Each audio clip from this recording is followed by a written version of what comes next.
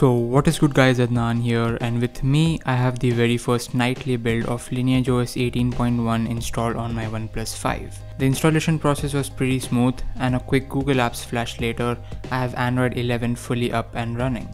I leave download links to the ROM as well as a specific GApps package that I used in the description below. The boot animation has remained the same, so has the lock screen, home screen and pretty much everything else about the ROM.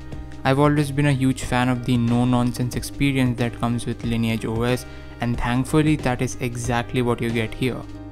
So what's new? Obviously you get all the features that Android 11 has to offer like the new media controls in the notification area, a much cleaner lock screen, and the wallpaper animations when interacting with the home screen. However, Lineage OS 18.1 has brought about some of the most changes to its built-in apps as well as the entire software experience in general. For starters, gone is the old and ugly AOSP calendar which has now been replaced by a new one that has a much better UI. The Recorder app now provides more options for power users and the 11 Music Player app has also seen a major overhaul and now fits in well with the rest of the apps. One of the biggest features that I've seen in all of Lineage's or CyanogenMod's history is now the addition of a backup solution that is built right into the ROM. To enable it, you need to navigate to Settings, System, Backup and choose Seedvault as your preferred backup option. Once done, you can pretty much back everything on your phone either to its internal storage or to the cloud.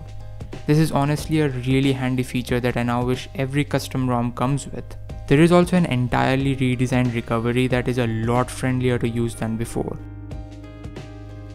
Last up on the list of new features is one that I've been personally begging for years, and that's the ability to change icon packs using the stock Trebuchet launcher, and now you finally can. The camera app is just as unbearable as it always has been, so just install Google Camera and you'll be fine. There are a lot of other nerdy, under the hood changes that you can educate yourself from the changelog on Lineage's website, but as it stands, 18.1 is a pretty significant jump in my opinion. I'm yet to test out battery and performance in the longer run, but if it is anything like the 10 previous versions of Lineage OS that I've tried, I'm sure I won't be disappointed. For now my phone runs perfectly smooth and is able to handle pretty demanding games just fine. OnePlus exclusive features like dash charging and the alert slider seem to work without any issues as well.